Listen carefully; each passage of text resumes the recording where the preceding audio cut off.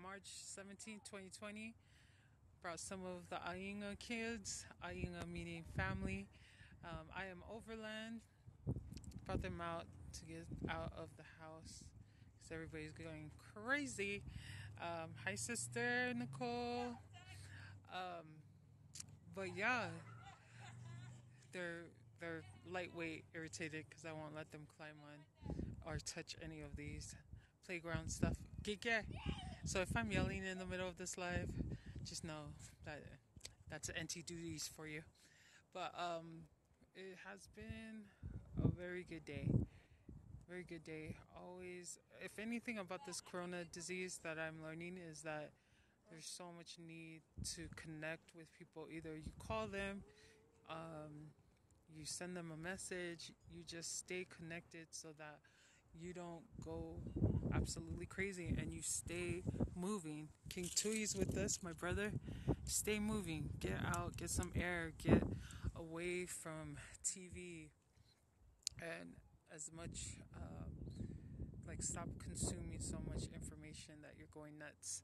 So that's why I was so happy that the grandkids, some of the grandkids came over, and then the grandkids that aren't feeling too well, um, they were um, smart and stayed home.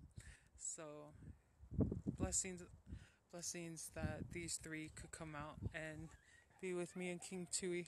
I hope you guys are having a good week so far. I hope you're not panicking too much and that your anxiety is going down.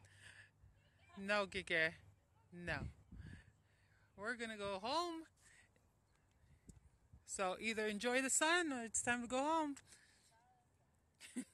So Rochelle is the oldest grandchild on my dad's side.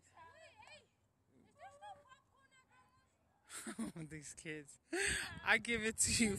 I give it to you, family members that have kids, because I I cannot with these three. Yes, there's popcorn. Um, but yes, you parents out there and all the people that are in the school system that work for these kids on a daily and don't get to see them so much now that the outbreak is uh, all over the place. Um, kudos to you.